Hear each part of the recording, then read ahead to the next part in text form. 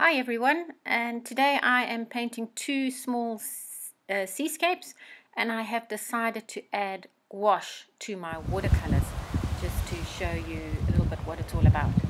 So I decided to go down to our local little beach that's uh, maybe 500 meters from our house and there's a wonderful tidal pool and I was lucky that it was uh, low tide so I was sitting below the tidal pool did a bit of a sketch and then the first thing I did was add my, uh, my sea and my sky which was ultramarine blue, a bit of uh, indigo for the top section of the waterline and then a bit of viridian added to it.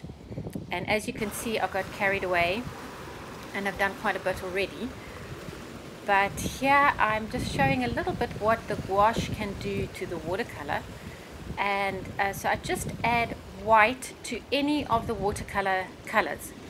And this gives a, uh, a great opaque feeling so that you can um, get a bit more of a layering feel or I guess maybe a bit of an acrylic type of feel. Uh, just uh, gives so much more uh, variety to a watercolor and that you can bring the lights back in. So this is definitely not purest watercolor but it works uh, super well and that very nice greeny color was some viridian mixed with ultramarine and then the wash.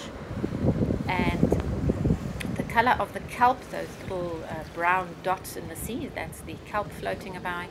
And that oh, that was uh, some burnt umber with some ultramarine blue. And now I'm just adding some shadows to the uh, to the rocks and that was also ultramarine blue but with some viridian added to it. I'll put all the colors down the bottom so that you know the colors that um, I used. And uh, just a glorious glorious day out in the sun. Uh, lots of people going snorkeling and diving but you can see they've got their full wetsuits on so it's the water's pretty cool uh, even at this time of year which is the beginning of summer. So this is my end result and from there I went to the tidal pool, which was so first I was sitting below the tidal pool, but as the tide came up, I went up above the tidal pool. And I quite liked this lady sitting on the beach, but she had initially sat with her bikini top on, which was bright yellow, and I decided to uh, keep on adding that color to this.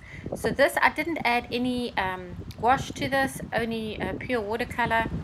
I had my uh, sunglasses on so the colors looked a little bit different from what they are in the in the video so much more intense.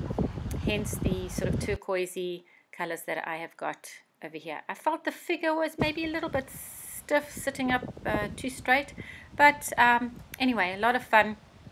And I showed her the painting afterwards and uh, she was really chuffed so uh, a wonderful day with a bit of wind coming up, but a, a great day in general. And um, I added a bit of the Gelly Roll at the bottom for the white squiggly lines. And this is just a panoramic view of the area.